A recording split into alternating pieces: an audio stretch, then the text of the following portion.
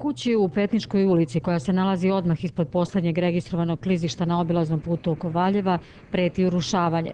Sagrađena 70. godina prošlog veka, već je pretrpela oštećenja od zemljotresa, a sada su pukotine na zidovima, ali i stepeništu sve drastičnije. U njoj živi tročlana porodica Branković, bračni par Zoran i Milena i kćerka Katarina. Oni već 10 godina čekaju na sanaciju od zemljotresa. Poslednje klizanje tla iznad kuće i pojava sve većih pukotina navela ih je da pozovu novinare i ukažu na opasnost u kojoj se nalaze.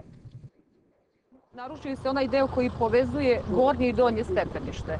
Znači, velike su pukotine. Zatim terasa isto je se ovaj, otišla je od, od postojećeg, tako da smo mi morali da izlimo stepenicu da bismo mogli ući u kuću. A vode već da ne pričam, to već idu, evo sad kako se otapa sneg, to je već uveliko. Se primećuju vode oko kuće.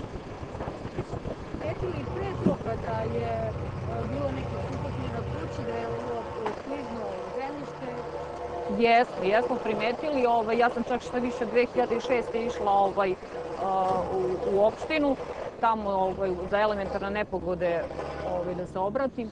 Primetili smo pukotina na kupatilu, recimo je se pojavila, u veličini metar i po sa pola, vidjet ćete, ovaj, tako da sam to isto prijavila. Ovaj, došli su, izašli su stvari, ovaj, napravili zapisnik i sve se na tome završilo.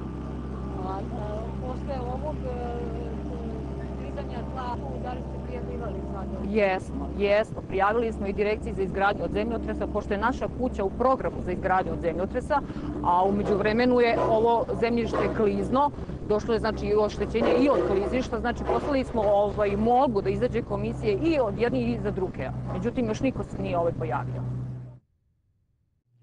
I zaista nimalo nije prijatno ni hodati stepeništem i terasom, a svakodnevni život u ovakvom objektu opravdano izaziva bojazan Brankovića. Milena ističe i da je kada je sagrađena kuća pripadala teritoriji Bujačića i da za gradnju nije bila potrebna dozvola. Planiraju da prave novu na mestu sadašnje pomoćne zgrade i za nju su dobili dozvolu. Prethodno su pozvali i stručnjake iz Geobiroa koji su im rekli da to mogu da učine. Oni sada nemaju novca za gradnju nove kuće, pa je zato do sadašnju neophodno što presanirati. S obzirom da su okolne kuće odavno već sanirane od zemljotresa, nije im jasno zašto su oni zaboravljeni i prepušteni čudima prirode.